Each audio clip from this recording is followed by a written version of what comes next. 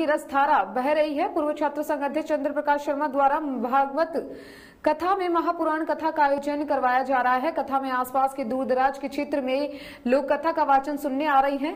सोमवार को कथा में श्री कृष्ण भगवान का जन्मोत्सव मनाया गया, जिसमें भक्त झूमते रहे। कथावाचक आचार्य गोपाल कृष्ण द्वारा सही मार्ग पर चलने और ईश्वर भक्ति आदि बताए जाने की बात की गई है।